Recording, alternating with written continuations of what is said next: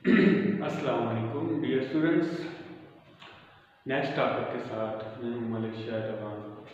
इससे पहले हम पढ़ रहे थे डाइजेस्टिव सिस्टम और डाइजेस्टिव सिस्टम में हमने पढ़ा है बक्कल कैविटी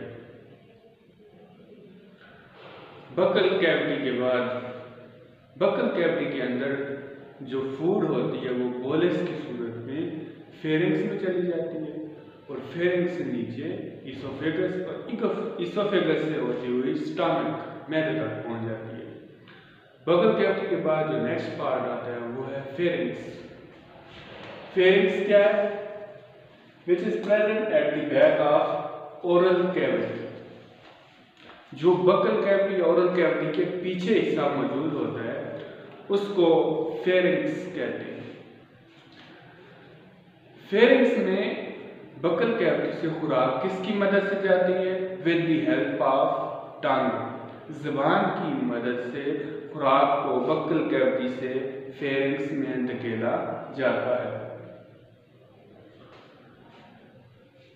फिर सवालवें के ज़रिए खुराक जो होती है, वो फेरिंग से होती हुई ईसोफेगस और ईसोफेगस से होती हुई स्टमक के अंदर पहुँच जाती है।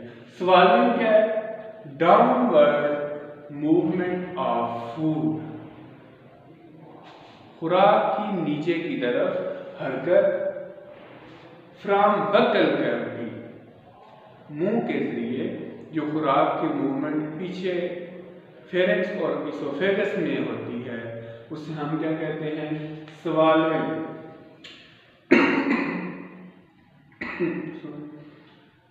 शुरू में तो ये वॉल्ट्री होता है, यानी हम अपनी मर्ज़ी से खुराक को नीचे उतार सकते हैं, लेकिन जब खुराक फेरिंग से आगे चली जाती है तो फिर ये इनवॉल्ट्री हो जाती है। फिर खुद ब खुद जो है पेरिस्टालिक मूवमेंट की मदद से खुराक जो है नीचे स्टामिक तक पहुँच जाती है।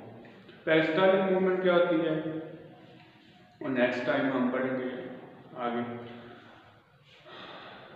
खुराक, फ़ूड, फेरिंग से होती हुई ईसोफेगस में पहुँच जाती है। ईसोफेगस क्या होता है? फेरिंग से आगे जो खुराक की नाली होती है, जो खुराक को स्टॉमिक यानी मैद तक पहुंचाती है, उसको ईसोफेगस कहा जाता है। ये मस्कुलर ट्यूब होती है। जो फेरिंग से स्टार्ट होती है स्टमिक तक मैदे तक जाती है। इसकी जो लेंथ है तकरीबन 10 इंचेस होती है। 10 इंचेस यानी एक फुट से थोड़ी सी कम होती है। ये नेक गले से और फिर चेस्ट या थोरक से होती हुई स्टमिक तक पहुँच जाती है। पेरिस्टालिसिस क्या है?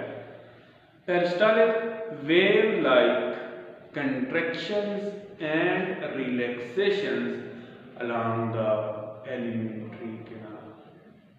ये क्या होती है? क्योंकि ये जो डाइजेस्टिव सिस्टम है, ये मस्कुलर होता है।